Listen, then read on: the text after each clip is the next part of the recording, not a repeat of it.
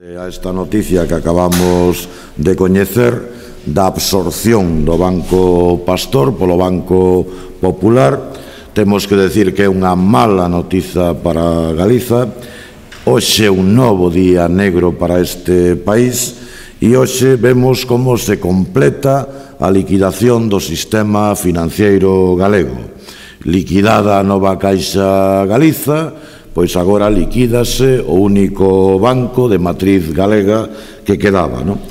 Hai que decir que isto acontece eh, nun país no que o liderazgo está ausente, cun señor presidente da Xunta que renuncia a exercelo.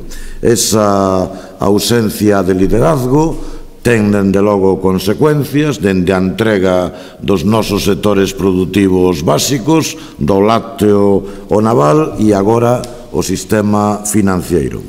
Eh, neste contexto eh, eu creo que cobra aínda máis interés, moito máis interés e importancia a proposta que acaba de formular eh, o Bloque Nacionalista Galego a respecto do futuro de Nova Caixa Galicia, Nova Caixa Banco. No? Efectivamente, é necesario modificar unha lei estatal que perxudica a territorialidade desta entidade e, en segundo lugar, a Xunta debe evitar que Nova Caixa Banco siga os pasos do Banco Pastor e, polo tanto, decidirse a tomar o 51% do capital que hoxe ten o FROP. O Bloque Nacionalista Galego propón sair do lallo, reaxir, defender Galiza. No?